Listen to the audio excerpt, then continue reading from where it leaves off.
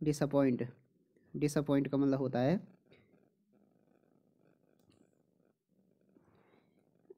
disappoint का मतलब होता है to fail to satisfy someone or others someone or their hopes wishes etcetera किसी को निराश करना, उसको कहेंगे डिसअपॉइंट